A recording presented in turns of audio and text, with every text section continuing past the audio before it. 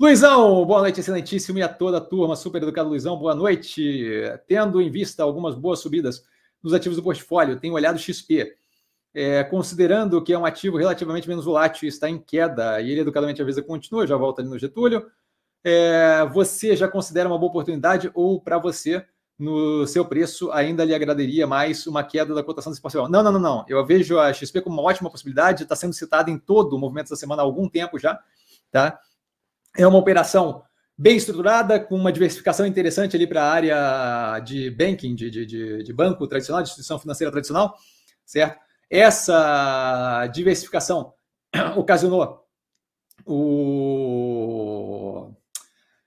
Essa diversificação ocasionou que a, que a, empresa, mesmo com maior risco percebido no mercado, conseguisse entregar resultados com forte consistência e o preço está derretendo. A gente tem a análise, lá na primeira vez que a gente olhou a XP, tá? A análise vale a pena assistir eu pego o quê? Do, lançamento do IPO, que eu falei na época que era exuberante, que o mercado americano estava muito exuberante, que estavam precificando extremamente acima, era positivo para a XP, mas não era positivo para o acionista. E você vê daquele momento em diante um derretimento agressivo no preço.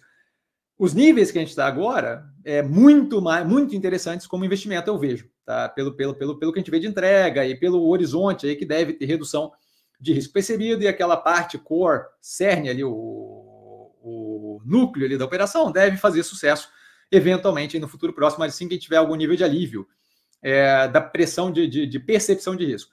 Tá? Isso dito, tenho muito interesse, a posição que eu tenho no portfólio dela é relevante, e aí, para fazer algum tipo de movimento mais agressivo, eu preciso de capital. Esse capital agora está sendo destinado para o quê? Para operações de menor porte, que tem o preço derretido demais, e que me permitem dobrar, triplicar, aumento de 50% da posição, sem um grande capital disponível, sem ter que alterar muito o portfólio. Eu não vejo a XP reagindo de forma tão agressiva, tão cedo, então eu não tenho problema de esperar para eventualmente dar uma raquetada ali quando eu não tiver mais tanta oportunidade, quanto Azul, Cogna e Dux, o que a gente tem aumentado posição agressivamente recentemente, Bahia, Grupo Caso Bahia, certo? E por aí vai.